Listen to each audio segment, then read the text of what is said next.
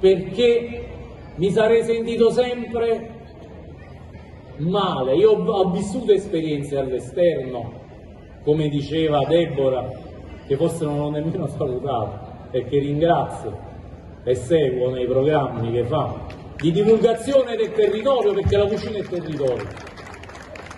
E allora dicevo, dobbiamo essere coscienti, come dicevo l'altra sera, di quello che è stato il Cilento. Nel Cilento si sono prodotti, grazie a quell'elite no? di pensiero del tempo, dei moti che ci hanno dato la libertà, non subito ma negli anni. Quei signori che venivano visti appunto come signori, come galantuomini, si sono mobilitati e sono stati incatenati, messi ai ferri, per i valori di fratellanza, libertà e solidarietà. Sto parlando, sto parlando del, dei moti carbonari. 200 anni fa c'era gente che pur di lottare per gli altri e consapevoli di essere degli avvantaggiati, di avere delle prerogative che gli altri non avevano, si sono messi in discussione, sono saliti sul patibolo a testa alta, ma per la libertà noi siamo gli eredi delle persone che hanno creduto in quei valori, coscienti della forza che il Cilento ha dato all'animo, alla libertà. I moti sono partiti pure nel 48 dal Cilento, la storia è importante. Nel 21 Nola e il Cilento, noi siamo gli eredi, dobbiamo sentirci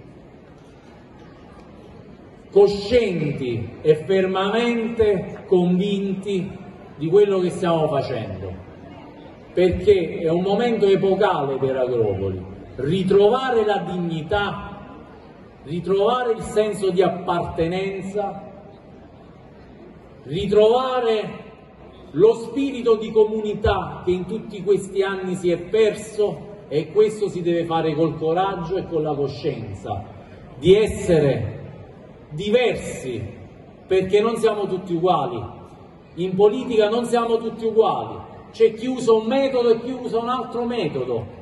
Noi siamo per la linearità, per la correttezza, per la promessa solo dell'impegno. Questo siamo noi, questo è Raffaele Pesce e questi sono gli amici di Raffaele Pesce perché noi siamo un gruppo che crede molto nell'affiatamento, nel lavoro anche manuale fatto insieme e questo dovrebbe essere la giusta ripartenza in un comune, il sentirsi gruppo. Siamo tutti un gruppo.